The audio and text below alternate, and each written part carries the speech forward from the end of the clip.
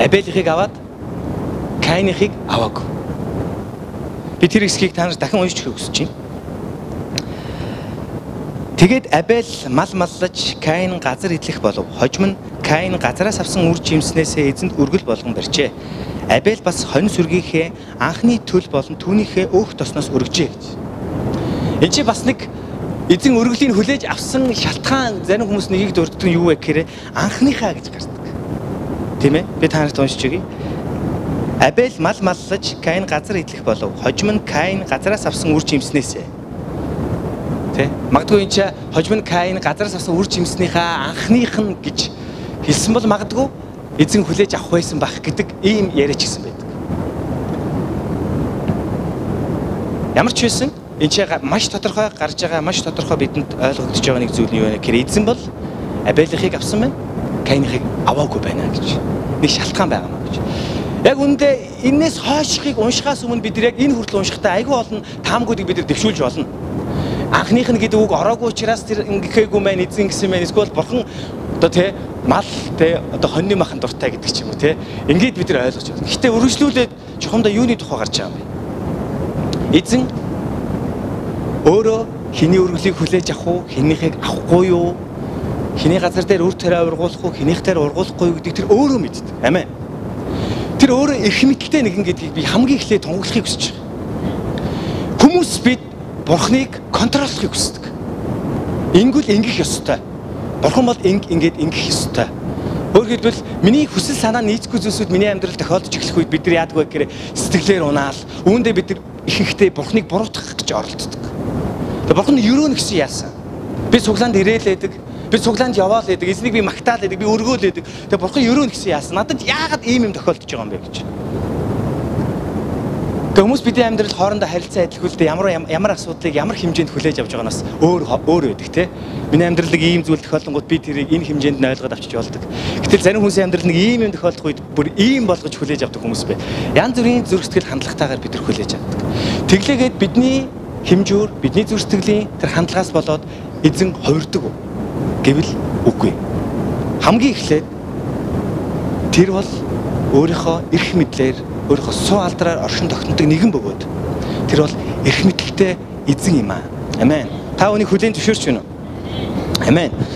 Үргэлжлүүлээд эзэн хинийх нь өргөлийг хүлээж авах мэдээж түнд эрх мэдэл байсан.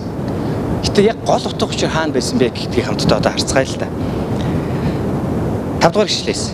Кайныг болон түүний өргөлийг оошоо сүнгээ. Кайн ихэд уурлан уруу царайлав.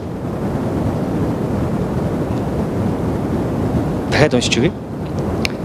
Каиныг болон түүний өргөлийг ойшоосонгүй. Каин ихэд уурлан уруу царилв. Эзэн Каинд чи юунд уурлана вэ? Юуны учир уруу царилна вэ? Хэрв чи сайныг үйлдвэл тэрүүнээ өргөх биш үү гэж хэлсэн. Амен. Энд чи бүх юмыг зангилаа гарч ирж байгаа. Маш чухал ишлэл хийж гарч ирж байгаа. Каин юунд уурлав? Мэдээж Адам Ева Каин Абель гэдэг Бурхны бүтээл эзэнд итгэдэг тэнгэрлэг нэгэн байгаа гэдэг тэд мэдчихсэн үү? Мэдчихсэн. Мэдчихсэн учраас тэд өргөл өргөсөн биз дээ. Тийм биз? Нэг нь мал мал аж ахуй эрхлээд тэ анхныхаа төлийг аваад энэ бол Бурхны надад өгсөн ивэл гээд хүндэтгэл тэ өргөлийг өргөсөн. Каин яг мөн адил тэ хөлсөө туслуулад газар тэ тариалан эрхлээд бас үр тэ үр ашиг шимээ хүртсэн учраас эзэнд өргөлийг өргөсөн. Өөрөөр хэлбэл эндээс маш тодорхой нэг харагдж байгаа зүйл нь юу гэхээр тэр хоёр эзнийг мэддэг байсан. Тэр эзэн хин юм бэ гэдгийг үнэхээр ивэгч бурхан, хангагч бурхан эзэн гэдгийг тэд яасан мэдчихсэн. Мэдээд өргөл өргөсөн. А тэнцээ одоо Каин эзэнд яаж нөхөр өглөгийг нь ойшоогоогүй учраас эзний нэрээр ирээд ууралж бурханд ууралж Каин бурхнаас юу хүссэн юм бол? Каин бурхнаас бурхан надтай яаж хандаасаа гэж хүссэн юм бэ? Бидний эзэн тэ бидний өргөлөөс илүүгээр тэр бидний зүрх сэтгэлийг хардгаа гэж хэлсэн. Зүрх сэтгэл дотроо тэдний итгэл ойлгомжтой байсныг эндээс бид нар харж байна. Маш тодорхой энэ чи хэлж. Чи юунд уурлна вэ? Юуны учир уруу царайлна вэ? Хэрэг чи сайныг үлдвэл тэргүүнээ өргөх биш үү? Чиний үйлдэл чинь, чиний итгэл чинь үнэхээр зөв юм бол Чи өнөр үнэхээр чи эзэн бурхнаа мэдээд түн дахлыг өргөөд үнэхээр энэ чиний цэвэр итгэлээс гарсан бол энэ бурхан тэрийг хүлээн авсан уу? Аваагүй чи баяртай байх биш үү? Чиний итгэлийн хандлагыг нэг хэмжээнд байх биш үү гэдэг талаар энэ ярьж. Тэг өнөөдөр яг энэ хэсгийг би шууд өнөөдөр бидний итгэлтэй холбож ойлгож байгаа. Бид бурхнаас юу хүсдэг юм бэ? Итгэл гэдэг маань юу юм бэ? Та итгэлийг юу гэж ойлгох юм бэ гэж. Хүмүүс цуглаанд маш олон зоригтой ирдэг, маш олон зоригтой итгэдэг Иесус Христ тийм үү? Тэр бидний итгэл яг хиний итгэл вэ гэдэг талаар өндөр суралцах гэж. Зарим хүмүүс өрөөгдөх гэж ярьдаг. Гэтэ үүндээ бид өрөөлийн төлөө итгэсэн үг үл үгүй. Бид эзнэр аврагдахын тулд түүнд итгэсэн. Амен.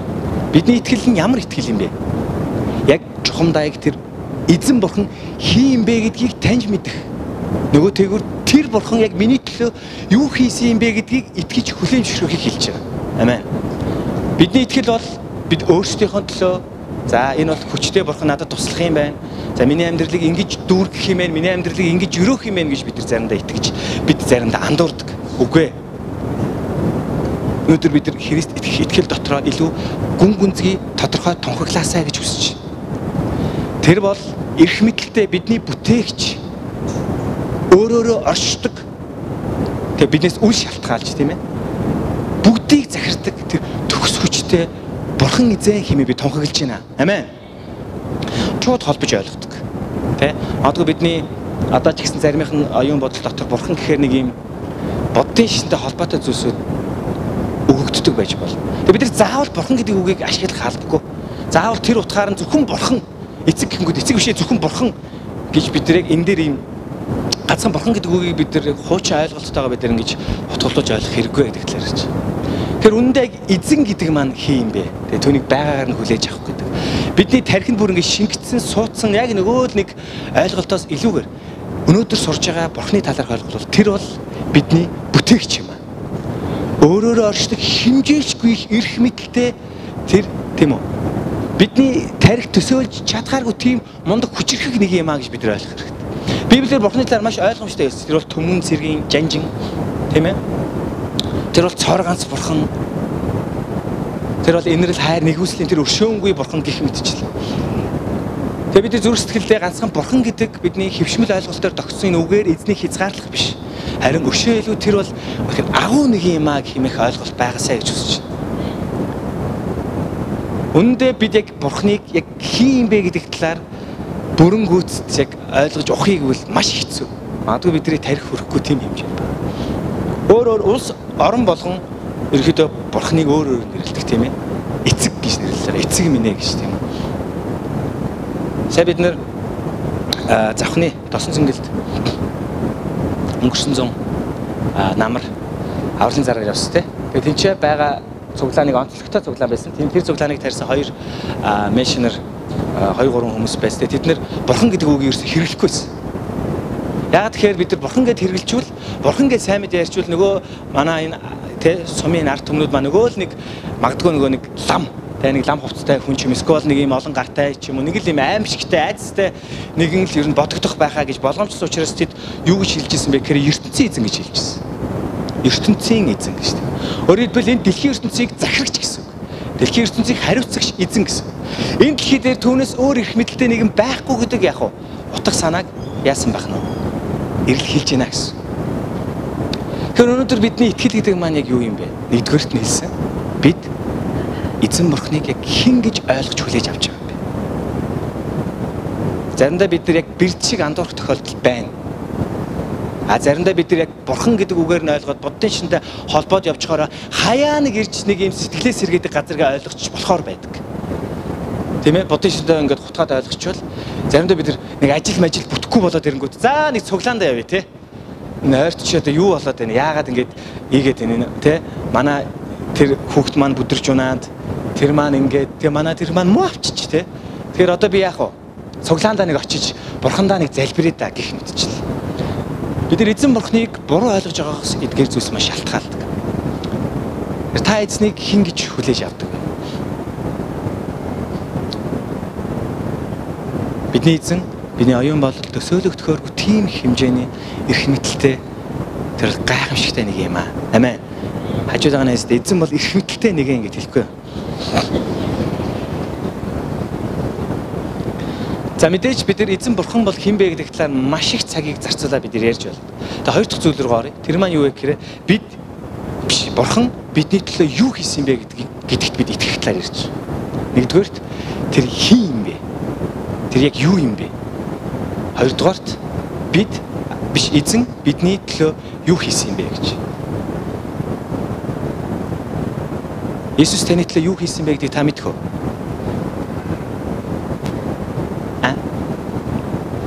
мэдж байгаа юу те? Баяр ахлагчаас бас мэдгүй байгаа шиг би та нарт ярьж өгье. Есүс Христ бидний төлөө өөрийн амийг өгсөн.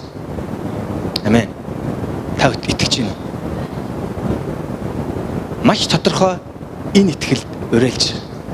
Есүс бидний төлөө өөрийн амийг өгсөн. Тэр бидний төлөө өөрийн амийг хүртэл өгсөн юм чинь тэр бус зүйлийг бидэнд өгөхгүй гэж юу гэж байдаг тийм ээ? Есүс Христ бидний төлөө амиа өгсөн гэдэг зүгээр а хин нэгэн миний төлөө нас орсон юм а гэхээс илүүгээр маш их утга учирыг агуулж идэг. Тэр бидний гмийн шийтгэлийг загламаа дээр төлсөө. Миний өмнөөс миний шийтгэлийг та нар миний гэд хэлэхгүй юу? Тэгээ заримдаа бид нар Есүс Христ ингээд хүн төрлөختлийн төр төлөвтний төлөө амиа өгсөн гүт бид нар аа нөгөө батагийн төлөө өгсөн юм гэж ойлгох гэдэг тийм Аа нөгөө тэр нэг хэсэг хүмүүсийн төлөө өгсөн юм. Тэгээ Библи маш тодорхой надад хамаатуулт хэлж байгаа нь юу гэхээр Иесус чиний төлөө амиа өгсөн юм а гэж хэлдэг. Үүгээрээ тэр биднийг хайрлах хайраа харуулсан юм а гэж хэлсэн. Та хүнд итгэдэг үү? Хэрэг үүнийг та ойлгоогүй итгээг байгаа би өнөөдөр таныг үүнд итгээрэй гэж уриалж.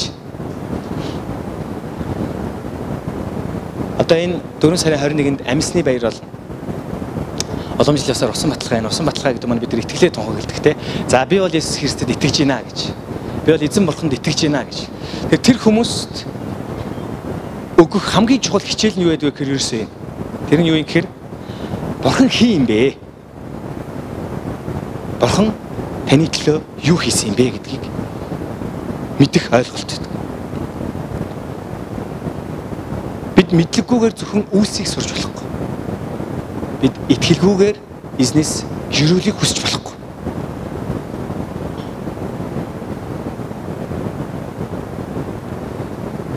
Зургаас толоо дээр эзэн маш тодорхой хэлсэн. Эзэн Кайнд чи юунд уурлна вэ? Юуны учир уруу царайлна вэ?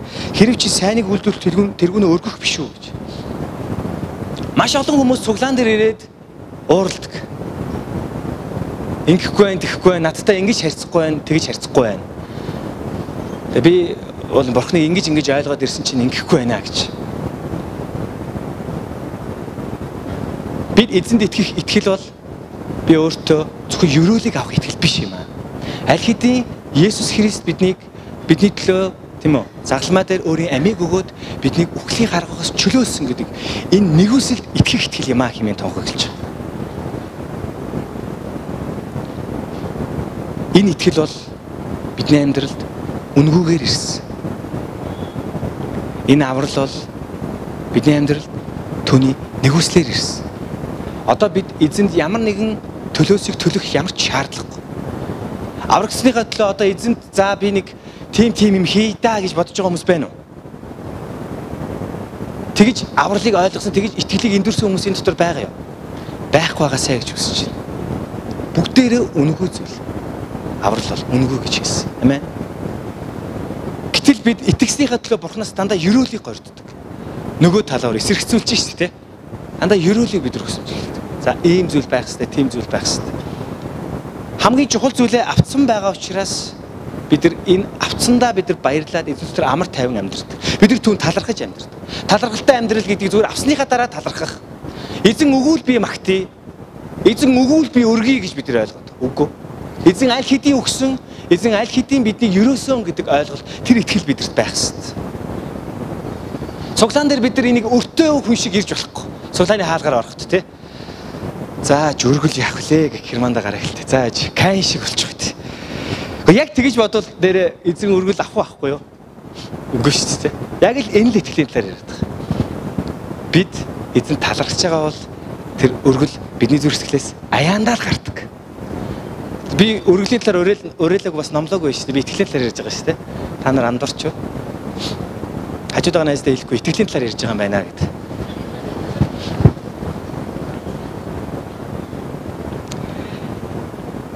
Бидний яг цэвэр итгэлийг эзэн маш сайн мэддэг.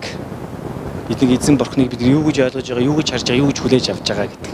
Тийм ч учраас энэ чуулганы үүд хаалга бүх итгэгчдийн өмнө нээлттэй байдаг. Харамсалтай зүйлсүүд байгаа. Цуглаанд ирэх гэхээр гим нүгэл нь араас нь хатгаад тэ цуглаанд ирэх гэхээр нэг юм гимт үйлдэлүүд нь бодогдоод муу сүнсний хүлээсэн дотор байгаад ирдэггүй. Үгүй яа ингээд цуглаанд ирээч гэхээр үгүй одоо над чиг амт цуглаанд очиод яах вэ нэг даврагдахаас өнгөрсөн гэл тэ. Яагаад тэр хүмүүс өстөр ийм ойлголт байдаг вэ? Яагаад тэгэхээр биднээс болоод Ягаад тэр хүмүүс цуглаан дээр ягаад ариун хүмүүс л ирдэггээ ойлгоцсон юм бол. Ямар ч гимгүү хүн цуглааны хаалгаар орж ирдэг гэд ягаад тэр хүмүүс итгэлийг тэгж хүлээж авсан юм болоо гэж. Энэ дотор гимгүү хүн байна уу? Манайхан бол гим нүглөл харин ч улаа шүү дээ. Байхгүй гимтэй гимтэй. Заримдаа бид өөрсдөө ч мэдэхгүй өөрсдөө ялсаар байдаг. Христ бидний төлөө аль хэдийн золиосыг, Христ бидний төлөө аль хэдийн төлөөсийг төлсөн байтал бид өөрөө ирэхгүй бид өөрсдөө ялладаг. За одоо тэ заримдаа надад нэг ийм зүйлүүд байсан ингээл унж босгүй байж дээ. Тэгэл магтаал өдөрдөн. Тэгэл урд гараал ингээл магтаал өдөрдөх гэхээр ингээл за би өстө нэг ийм балер амтан баг эзэн магтаал өргөл бурхан хүлээж авах ч юм уу гүү ч юм. За өнөөдөр зүрхсэтгэл нэг сонирн байна те. Энэ одоо өстө яах вэ ийх вэ гэж. Тэг би хожим бас ойлгож байгаа. Энэ бас буруу л ойлголт. Бид нар эзний өмнө ирээд түүнийг чин сүргсээсээ магтаж байгаа бол эзэн тэр магтаалыг авдаг эзэн. Амен. Тэр магтаал нь гоё вэ нөө? Муухай вэ нөө? Солгоо дуулж гин үү? Хоор дуулж гин үү? Хамаагүй шүү дээ. Бидний зүрх сэтгэлээс эзэнд өргөж байгаа магтаал болгон хүндэл болгон эзэнд очдог. Амен. Гэвч бид нар өөрсдөө ялалсаар байдаг. Энэ маань эргээд яагаад бид өөрсдөө ялт юм бэ гэхээр нөгөө л юу вэ? Итгэл. Нөгөө л итгэл. Эзэн биднийг хүлээж авахдаа үргэлж баяр хөөртэй байдаг. Чуулганд орж ирээд бид нар хамтдаа эзнийг магтаж түүний хүндлэх үед эзэн бидний зүрх дотор гайхамшигтай өрөөлүүдийг өгдөг. Тавнд итгэдэг. Би лав итгэдэг шүү. Бид зүгээр нэг магтан дуудуулаад эсвэл нэг юм уламжлалч юм шиг те. За цуглааны өмнө нэг дөрөн дуудуулъя. За хоёр нь хурдан бай, хоёр нь удаан байж гэх юм уу те. Нэг юм уламжлал болонгуудаа за ингээд яг уламжлалын дагуу явсан юм чинь гоё магтаал болчлоо гэж ойлгох хэрэггүй. Харин бид эзнийг магтаж байгаа учраас энд гайхамшигтай эзний сүнслэг өрөөлөд хүннийг бүрт өгөгддөг. Та хүнд итгэж байна уу? Хүннийг бүрт өгөгддөг. Эзэн ингээ явж ирсэн та ингээ шүрээгч төгөөл ингээ туул ахлагсан ингээ явж ирсэн. Хөөе энэ нэг гимтэн хүн байна гэдэг ч юм те. Өнгөрөнгүүтээ дараагийн хүнд нь өрөөлөг өгдөг үү? Үгүй. Энэ бас л яг бидний өнөөдөр хүлээж авах ёстой ойлголт. Эзэн бүх хүнээс магтаалыг авдаг. Эзэн бүх итгэл хангалттай юм аа. Хажууд танаас дэ итгэл хангалттай гэж хэлэхгүй.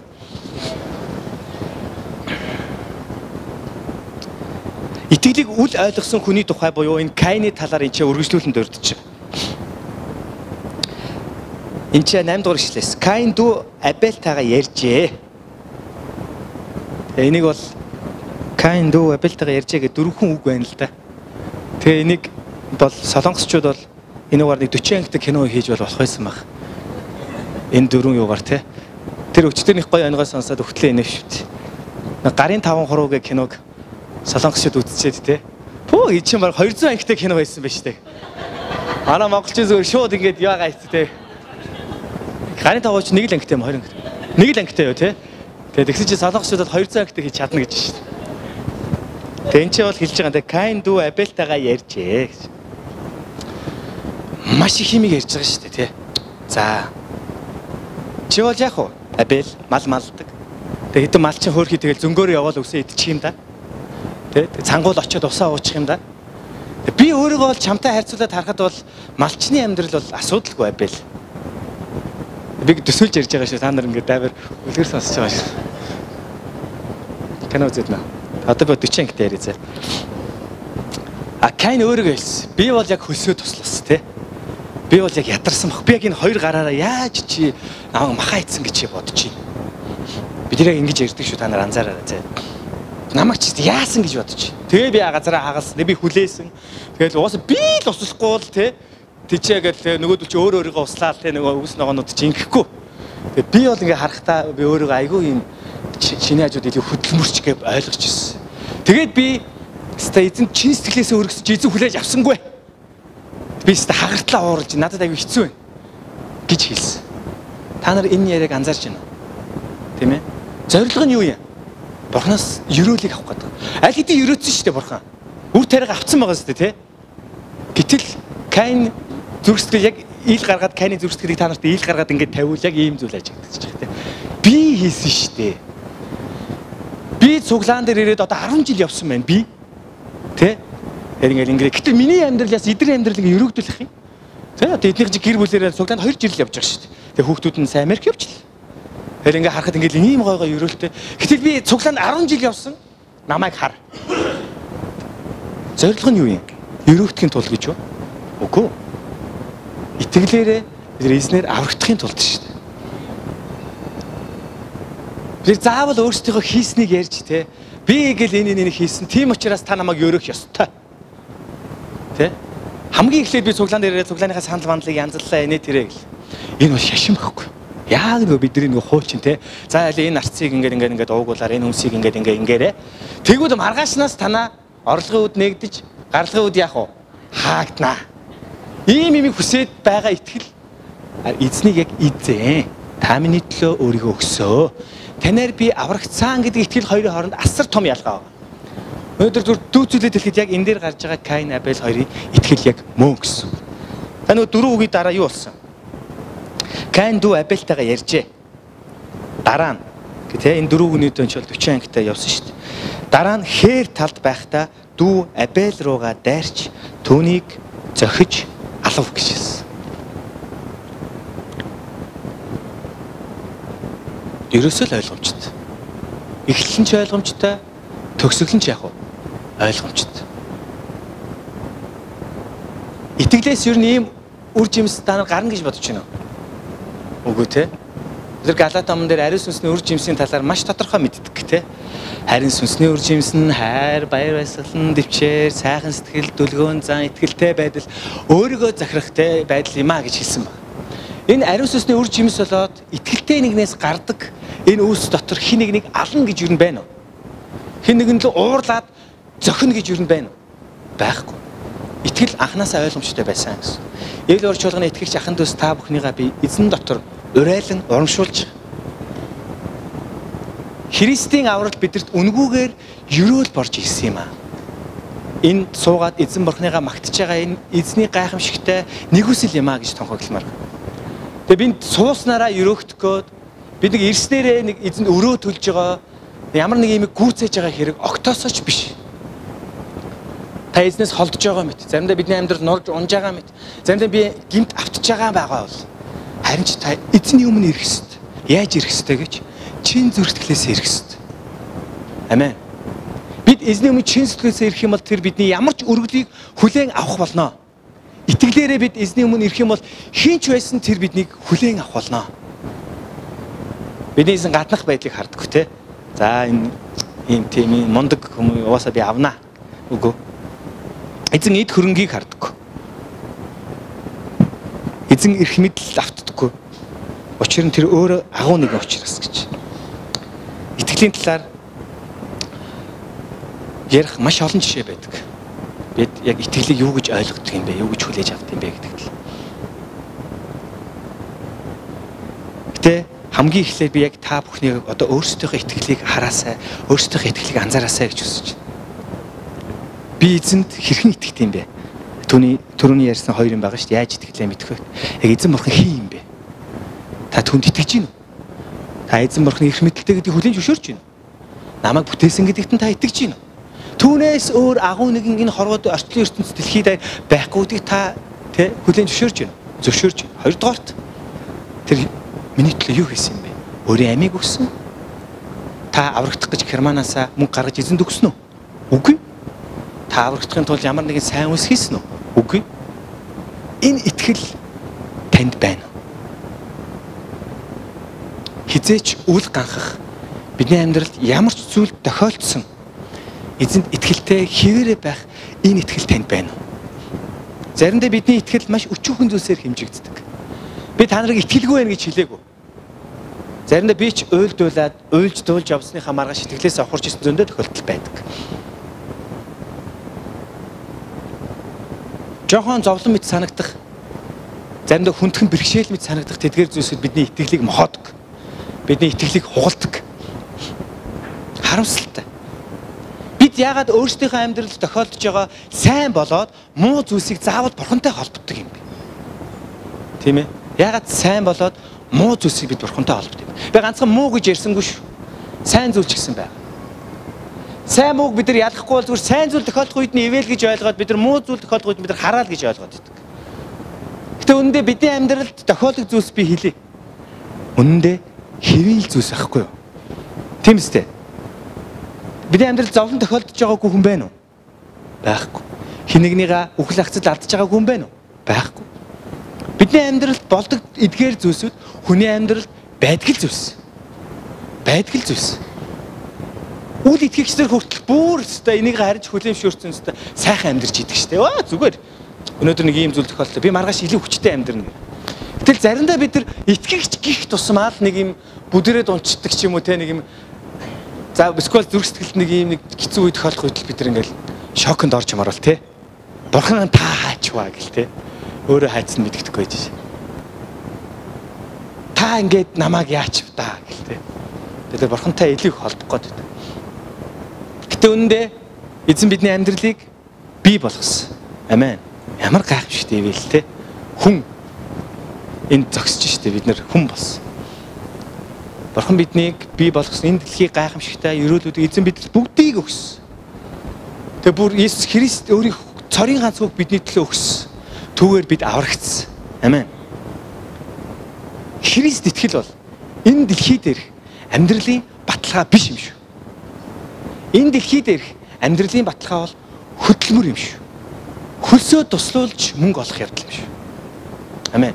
Харин итгэл бол биднэрт мөнхийн амийг өгдөг. Түүний амлалтыг биелүүлдэг зүйл. Амен.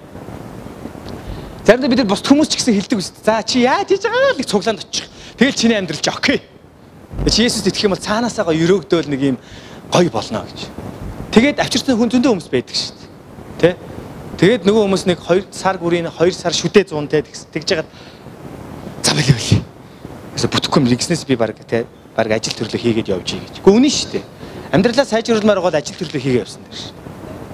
Тэгээ цуглаан дээр 2 сар гүрийж байснаар амьдрал нь сайжрах гэсэн үг биш үү?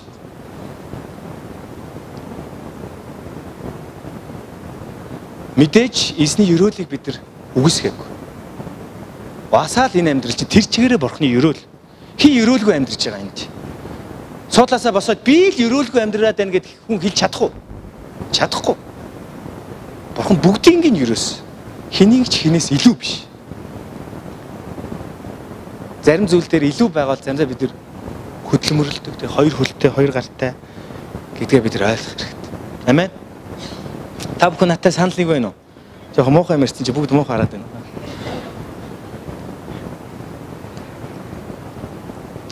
Танах бүр муухай юм уншиж чигээ. За 8-аас нөгөө нөхөр чинь Абелига нухацсан байгаа шүү дээ. Тэгээ эзэн Иесус чиний дүү Абел хаана вэ гэж Каинаас асуухад Каин би мэдгүй ээ. Би дүүгийнхээ харгалзагч юм уу гэж хариулв. Эзэн чи юу хийчвэ? Чиний дүүгийн цус газараас надад хашгирч байна. Газар амаа ангааж чиний гараас дүүгийн чин цусыг авсан тул чамд газараас хараал хөрч чамайг газар хагалахад газар чамд дахин үрж юмсээ хайрлахгүй. Чи газар дэлхийд зайгуул тэнүүлч болно гэв. Каин эзэнт хандаж. Миний шийтгэл хэрээс минь хитэрсэн хүнд ачаа. Хүнд хитэрсэн хүнд ажээ. Та өнөөдөр намайг газрын хөрснөөс зайлуулж байгаа учраас би таны оршихугаас далд орж газар дэлхийд зайгуул тэнүүлч болно. Надтай уулзсан хэн боловч намайг ална гэжээ. Эзэн түнд. Ийм чамайг алсан хэн боловч долоо дахин илүү хүнд шийтгэл хүлээх болно гэж хэлээд Кайнд тэмдэг тавьж түүнтэй уулзсан хинч түүнийг алхааргүй болгов. Каин эзний оршуугаас гарч Эдний зүүн талд орших Нод гэдэг газарт нутаглан суух болжээ гэж. Амен. Каин одоо яг яаж ийн гэж хохирогчийн дүр тоглож. хохирогчийн дүрд тоглоод юу амжилт олсонгүй л дээ. Тэ? Надтай дарсан хэн боловч намайг хинч байсан намайг алга гэж хэлсэн тэ. Тэгээ яагаад гэсэн хэрэг эзэн хэлсэн. Одоо чи ингээд дүүгээ алсан. Тэгээ дүүгийн цус яасан гэхээр газар дунаад газар ангаагаад ингээд дүүгийн цусыг авсан. Тэгээ чи харагдсан. Дахиж чи газар тараар ирэхлээр би газар чамд үр жимсээ яагсан. Өгөхгүй гэж хэлсэн. Өгөхгүй гэж хэлж. Хин чин Каин юу хэлсэн гэхээр миний шийтгэл хэрэгс минь хитэрсэн хүнд ажээ гэж хэлж. Одоо бурхныг буруутгах чинь дээ. Бурхныг буруутгах чаддаг те. Өөрөө алдаа гаргачаад тэр бурхан гэлтэй Тэгэд үргэлжлүүлээд өөрийнхөө алдааныхаа нөгөө нэг гим шийтгэлийг амсах үедээ те нөгөө нэг юу энэ ч юу гэж ярьдаг лээ. Бид манай монголчуудын гоё хөвтөн шүү дээ. Өөдөд шийдсэн ч бол өөрийн толгой дээр аа те үүлийн үр гэж усаа те. Үүлийн үр бол амар тодорхой байгаа шүү дээ те. Үүлийн үр гэдэг нь тамийн талаар ярьдаггүй шүү те. Үүлийн үр гэдэг бол та энэ дэлхий дээр бузар мөг хийсэн бол энэ дэлхий дээр түүнийг амсах талаар ярьж. Энэ бол авралтай ямар ч холбоог. Тэ? Энэ бол Үүлийн үрэл энэ дэлхий дээр байгаа та өнөөдөр хүн асан бол тэрнийхээ үүлийн үрийг энэ дэлхий дээр эднэ гэдэг талаар гэж. Тэрс үүлийн үртэй юутай ийтэйгээ тийм ээ одоо юу гэдэг ингээл их сайхан өдөр мөнхийн диваж уусанд орох талаар юу ярих. Тэр бол авралын талаар ярьж байгаа. Энд чи эзэн чи ийм алдаа гаргасан учраас чиний итгэл чи ийм байсан учраас чи өөр өөрийнхөө үүлийн үрийг эдэлж байна. Чи цус уусгасан газар тэр цусыг авсан. Тийм учраас би чамааг биш газар чамааг хараж байна. Чи ийм байна гэсэн чи үгүй ээ. Та намайг хараачлаа. Таны шийтгэл надад хэцүү байна. Ерөөсөө би ингээл явъя. Тэ одоо эм орж шүү дээ. Одоо гуйлгуулах гэдэг шүү дээ. Заримдаа бид нар амар гуйлгуулах дуртай шүү. Ялангуяа би бол баг багтаа амар гуйлгуул гэсэн. Тэ? Буруу юм хичээл өвөө намайг бүгсэн дээр алгадангуу шууд томж байгаа юм чи. Яа шүү. Хэшиг хэшиг би болиё гэл. Өвөөгөөсөө зүхтааж мухтаажсэн зөндөө үе байгаа уу байх. Яг тэр шиг энэ чи кайн ярьж байгаа хөөхгүй тэ. Надтай хэн тааралд тэр хүн намайг алга би өстой заяагүй юм аа нэрэ гэж хэлж шít те. Тэг чи эзэн юу шийсэн? Тэмдэг тавиад хинч кайныг яасан? Алхааргүй болгосон гэж. Бид нар өөрсдөө гол дүрдэн тоглож бид нар өөрсдөө гол хохирогч нь болохыг хүсдэг. Бид авахыг мэдхээс биш бид нар өгөхийг мэддэг. Хин нэг надтай сайхан хандаасаа гэж хүсдгээс биш бид нар хин нэгэндээ сайхан ханддаггүй Христ итгэр дотор яг өнөөдөр тулгарч байгаа бэрхшээл асуудал бүгд энэ. Бид нар итгэлийг яг л хуучныхаа суурин дээр авч тавиад бид нар зүгээр л нөгөө тий өнөө маргаашийн амьдралын хим маягийг зүгээр л гуйлагчны амьдралаар юм шиг бид нар бурхан намайг өрөөн би ингүүл ингэн тэгвэл тэгнэ гэдэг нэг юм барьцаалсан итгэл дотор бид нар өөрсдийгөө хордог. Үндэ эзэн бидээс юу ч хүсээгүй шүү дээ. Надад итгэл гэж хэлсэн мэт. Амен. Эзэн надад итгэл гэж хэлсэн. Гэвч бид нар өөр өөрсдөө барьцаа, өөр өөрсдөө бид нар яалд унгаагаад тэгээд бид нар яадаг? Өөрсдөө хохирогчийн дүр тоглодгоо гэсэн. Ингэж ингэж ингэж ингэж ингэж ингэж ингэж ингэж өрөөгөөд ингэж чи өөрөө ингэж хичээгээ зүдэцгээ надад энийг өгөх юм бол би чамайг ингэж өрөөнө гэж те эзэн хэлээгүй байтал бид нар өөрсдөө аа би ингэж ингэж ингэх юм бол ингэж эзэн намайг ингэж өрөх юм анаг ойлгочдөг. Тэгээ тэрэндээ бүр итгэцдэг те. Өөр нэг юм шунал дотроо ч юм уу хаашаа одоо ингээд итгэждэг. Тэгээд нэг юм хүлээгээд идэг. Цуглаан дээрээ суугаал ингээд хүлээгээл идэг. Нэг юм боо за энийг л ингэчүүл бурхны өрөөл. Хамгийн агуу хангалттай өрөөл бол түүний аврал ба нэгүсэл юм аа. Итгэлээр л эднээс өгөгддөг аврал ба түүний нэгүсэл юм аа гэж ойлгож байна. Эвэл орч чуулганы итгэт ахын дүүс нараа би та бүхнийг өнөөдөр уриалж бид ямар гайхамшигтай ерөөлтэй хүмүүс юм бэ? Бид итгэлээр аврагдсан хүмүүс. Бид эзэнд үйлчлснээрээ тийм үү? Бид өөрсдөө хөдөлмөрлснөөрөө бидэнд буян хурааснаар аврагдаагүй. Бид аврагдахааргүй байсныг эзэн мэдсэн. Юм учраас өөрийн амийг бидний төлөө өгсөн. Үнгүүгээр аврагдах боломжийг олгосон. Өнөөдөр ивэл өөр чуулганы хаалгаар хинч орж ирээд суудал суугаад эзнийг магтаж, эзнийг хүндэлж болно. Энэ эрх чөлөөтэй байхгүй. Тэгээ одоо цуглаан дээр нэг ийм юм байхгүй байгаа шүү дээ. Цуглааны үүдэн дээр нэг юм одоо гайл малын нэвтрэхээр нэг юм дуурдаг шүү дээ. Дүүд дүүд гэж шалгадаг юм. Энэ хэрэг гим нүгэлтэй байна гэл те. Тэгээ шинжээл энэ гайгүй мэн за чи өнөөдөртөө цуглаандаа ордоо. Тэгээ гимтэй хүн байсан бол чи 7 хоног гимшиж байгаад ирдээ. Тэгээ чамаг яг оруулах оруулахгүйгээ шийдээ гэл те. Тэгэл энэ чи ингээл амар ариун хүмүүс орж ирэл. Тийм ерөөсөө биш. Эзэн би өөрийгөө хин юм бэ гэдгийг мэддгээс ч илүү тэр намайг мэддэг. Амен. Тэр эзэн бидний төлөө өөрийн амийг өгсөн. Тэр бидний боддог шалтар балдар зүйлсийг тэр өгөхгүй гэж юу? Матай номондын 6 дугаар бүлэг дээр хэлсэн. Харин эхлээд түүний алтар болон хаанчлал зүвт байдгийг хаа гэж хэлсэн. Энэ юу гэсэн үг юм бэ гэхээр тэ эзэн дүүлчлээл нөгөө санд ширээ ингээл зөөгөөл ингээл аяг тав гугаа гэж ерөөсөө хэлээгүй магтан дуудвал тэ эзний алдар зүвт байдлыг хаа гэдэг нь ингээл тэ мундаг өдөрдөгч пастор болсны дараа гэж хэлээгүй. Юу гэж хэлсэн бэ гэхээр эзэн чи итгэл дээр ихлээр суйрлагдаа гэж хэлж байгаа хөөх. Чи цуглааны хаалгаар орж ирэхдээ яг ямар итгэлтэй байгаагаа чи хараа. Тийм үү? Чи яг Христийг таньж мэдэж байна. Яг шиг бурхантай уулзсан уу гэдгээ чи ингээд хараа. Эхлээд эхлээд шүү те. Тэрнээс биш одоо ингээд заа өнөөдрийн цуглаанд орж ирээ залбирчи. За өнгөрсөн 7 эх 7 хоног тим тим ажилтайгаа эдгээр ганыг бүтээч хийсэн те. Яаж хийж яагаад гэж хийсэн. Энэ итгэл биш ээ найзуудаа. Та бүхэн эзний өрөөдөг гэдгийг угаасаа мэднэ. Тийм учраас бид яг нэг итгэл дээрээ байцгаая. Амен. Хаврын тэнгэр шиг биш те. Гэтэ итгэж бид нар яг л хаврын тэнгэр шиг юм дөө ер нь явж явжтэй ингээл өө гэл нэг нэг болохоор хинээцсэн, нэг болохоор урваацсан. Тэгэл бас өөр хоорондоо заримдаа хүмүүс бид нар тэгдэг шүү дээ. Ингээл яах га дагаа нь мэддэгдэхгүй гэд нэг юм барьцгүй, нэг харьцах нэг хийхээр нөгөө хүмүүс итгэж байгаа юм шиг элэг итгэхгүй ч байгаа юм шиг те. Тэгэхээр заримдаа бид нар чи хин нэгнийг халамжлаад ингээл заагаад босгоод явахаар заримдаа орог тэр хүнийгээ зүүдэлт шүү дээ. Тэг бөөн баяр штэ хүн итгэнэ гэдэг шиг те. За хаста тэр маань хаста амжилтсан итгэл дотор сайн суйрлаж ийнгээ бодоо байж байгаа л те. Тэгэл завсан баталгаа хийх өгсөж. Аа. За би бодооцгоё. Тэнгөцтэй shit гэж бодож байгаа шүү дээ. Итгэл бол энгийн зүйлс. Тэ? Итгэл ямар нэгэн бид нар цензур тавихгүй баг. Тэ? Матай, Марк, Лук, Иохан энэ дөрвөн номыг уншичаад ир. Тэгвэл чамайг баптизм хийвэл хий яах вэ? гэж хэлэхгүй байгаа шүү дээ. Библийн сургууль төгсцөл энэ бол супер итгэгч гэл те. Тэгвэл Библийн сургуульд итгэдэггүй хүмүүс байдаг байсан шүү дээ. Сонирн байгааз. Биний нэг анх Хари Поттер Хари Поттерийн сургуульд орсон гэдэг чинь тэр байхгүй юу?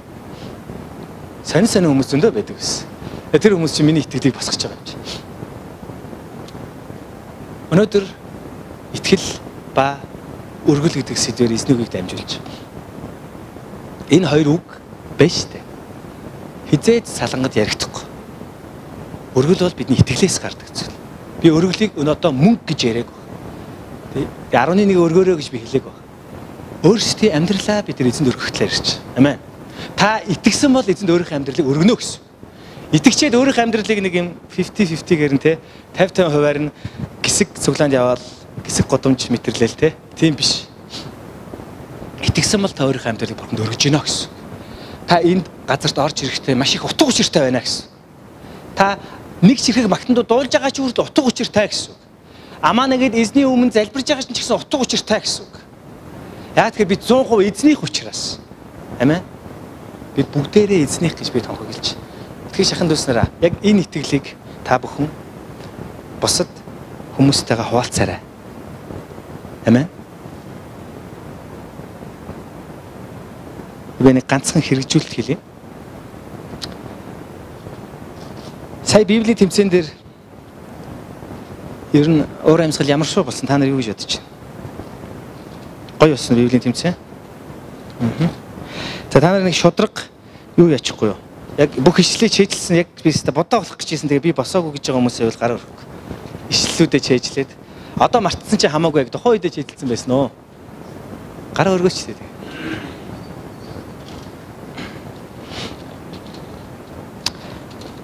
Нэг нэгнийхээ ачаагаас үүрлэх талаар чи хэдий хэд байлаа? Эфес лөө. Галат лөө. Галатын 6 те. За би та нарт энээс хэрэгжүүлэлт хийлээ дуусгая гэж бодож байна. Тэгээд туул ахлагч бит хоёр нөгөө толилуулгыг шүүсэн шүү дээ. Тэгээд яг энэ нэг юм байгаа онохгүй нэг хэсэг байсан. Тэрийг би уншиж. Галат 6-гийн 1-ээс ах トゥ нараа хэрв хин нэг нь гимд автсан бол сүнслэг та нар түүнийг дөлгөөн сүнсээр шинчлэн засах тун. Ингэхдээ өөрийгөө ч хянаж бай. Эсвэл чи ч мөн уруу татагдах вэ гэж хэлсэн. Энд ерөөхдөө манай илтгэгч нартай нэг нэгнийхээ ачаанаас үргэлжлэх талаар ирсэн тийм. Тэгээд ерөөхдөө сэдвүү нэг сонир ингэж гараад байсан. Чи айгүй юм боломжтой бол тэгээд тусал гэдээсэн. Тэгээ би ерөөсөй ойлгоогүй. Мэдээж туслана. Тэгээ боломжтой одоо нэг юм арай нэг юм нэг дээр хүмүүс бол тэгээ туслана. Тэгээ тэрийг юу гэж тайлбарлаад гэхээр тэгж байгаараа чи ачаанаас нь үрдэж байна гэсэн. Тэгээ эн чи тэгж хэлээгүй. Маш тодорхой. Ах トゥ нараа хэрв хин нэгэн чин гимд автсан бол гимд автсан бол сүнслэг та түүнийг дөлгөөн сүнсээр шинжлэн засах тун. Дөлгөөн сүнсээр гэж шүү дээ. Дөлгөөн сүнс гэдэг нь муухай харцыг хэлээгүй те. Хин нэгэн гимд автсан бол шууд зэхэл гэж хэлээгүй шүү дээ. Зэхэлзэнгүү те очоо наа чин буруу дээ. Чи одоо ингэх ёсгүй дээ. Энийгээ ингэ тэг тэгэд зас гэж хэлсэн байна уу? Үгүй. Дөлгөөн сүнсээр. Өөрийгөө хамгийн гоё дээрээ тавиад нөгөө найз дээр очих нь шүү дээ. Бүр яатсан гэмээр те бүр юм нэг юм гоё нэг юм гоё хоолоо дуртай хоолоо идсэн шиг те. Аюу гоё очих. Тэгээ сүнслэг таа гэж хэлж байгаа юм чаа. Тэгээ та яг тэр хүнд очиж зөвлөх ёстой хүн мөн үгүй юу гэсэн үг шүү дээ. Сүнслэг таа гэдэг нь те. Тэрнээс биш өөр адилхан байж нэг гоё хоол идчихээ очиор гээг те. Тэгээ дүлгөөн сүнсээ шинжилсэн гэсэн. Ингэхдээ өөрийгөө ч хянаж бай. Хамгийн гол хамгийн чухал үг нь аахгүй. Өөрийгөө ч хянаж бай те. Та хин нэгэн дээр очих гэж байгаа бол та тэр нэгийг босгон байгуулах гэж байгаа бол эхлээд өөрийгөө хяна. Өөрөө ямар болчоод яах гэж байгаа вэ гэдэг хяна гэж хэлж. Тэгээд та тэр хүн дээр очиод одоо ингээ хуваалцах чинь. За найзаа. За найз нь бол одоо ингээд мундагтай биш ээ, тий. Би чамаас илүүдээч биш. Би ч гэсэн над яг наа асуудал дээр чинь зөндөөл бүдэрч явлаа, зөндөөл унж явлаа, тий. Тэгээд би эзэн залбирсан ийм тийм байсан. Тэгээд би яагаад унсан гэсэн чи яг ийм ийм буруу зүйл надад байсан байлээ, тий. Тэгээд одод бол надад ингээд би бол эзэнтэй ингээд арай эзнээс эзний өмнө гимшээд эзэнтэй ойртохыг хичээж байгаа. Яг тэр нөхцөл байдал яаж эзэн намайг өдөрцөн юм гэхээр ингэсэн юм а. Тэгэхээр хоёул хамт залбирая.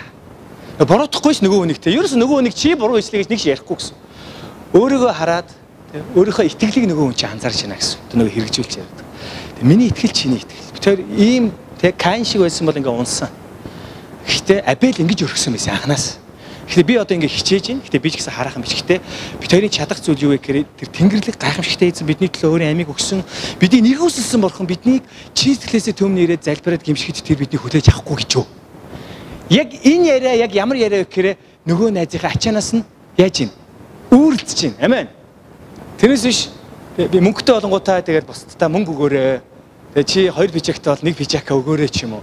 Яг ийм өмнө ачааг үүрцэх талаар ерөөс яриаг. Тэгэхээр итгэх шахан дүүснараа би өнөөдөр та бүхнийг итгэл дотор уриалж. Хин нэгэн гимт автаж унж байгаа бол хизээч тэрнийг битгий онцлоорой. Буула үтсэн юм шиг хизээч битгий хараарай. Яа тэгэхээр өнөөдөр би бол маргааш тааш биш магадгүй. Эвэл өөр чуулганы итгэх шахан дүүсэр бүгдээрээ эзний бидэнд өгсөн энэ загламын замаар бид нар бүгд бие биенийгаа түшиж тулаад бид нар бие биенийгаа ачаанаас үүрлцэх ёстой хүмүүс. Өнөөдөр би унаагүй байж болно. Хаалелуя. Тэгээ маргааш би унж магадгүй. Гэтэл маргааш хин нэг над дээр ирэх хэрэгтэй. Тэгэхгүй бол би яах вэ? Босч чадахгүй гэсэн. Тэгэхээр бид нар бүгдээрээ адилхан юм аа. Амен. Хинч хинээсээ илүү биш бөгөөд бид харин ч ямар ч цаг үед бид үргэлж бие биендээ хэрэгтэй байдгаа гэсэн. Та үүнд итгэж байна уу? Итгэл дотор эзэн бид нар бие биенийгээ босгон байгуулад бие биенийхээ ачаанаас үүрлцээрэй гэж өнөөдөр эзэн биднийг уриалж.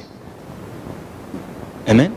Өнөөдөр хамтдаа залбирах болно бүхнээс ирхэн бүхний дээд эрх мэдэлтэй гайхамшигтай тэр нэг нэг хамтдаа магтах болно.